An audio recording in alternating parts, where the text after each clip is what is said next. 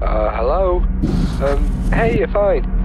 You might want to look at the cameras while I talk, you know. Um, now, we've just received a letter from the company we bought these animatronics from. Well, the endoskeletons, anyway. They said that there's a glitch in their newer animatronics where if the endoskeletons see a human after 12am, they'll see him as a bare endoskeleton will want to stuff him into a suit. Um, they say the glitch might have carried over to the prototypes as well, you know.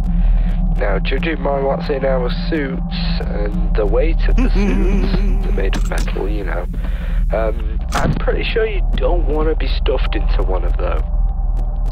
But anyway, I digress. Uh, we finished the animatronic I was talking about yesterday. Uh, he's in the back room now, if you want to have a look. If you're not being eaten. um, oh dear, I'm, I'm telling you, if I was a kid and I saw like an endoskeleton with nothing but a Burgee head on, I would just... Wait. Oh dear. Right, listen, if you're not already being shoved into a suit, um, the new animatronic will still see you as an endoskeleton. But if it sees you with just the head on, it will dismember you.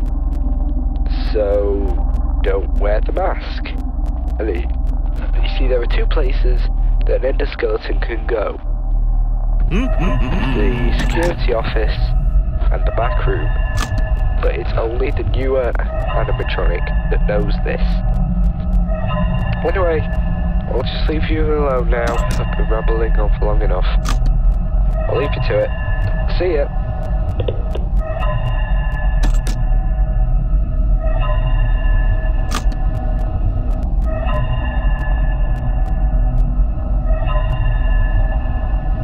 Uh-huh.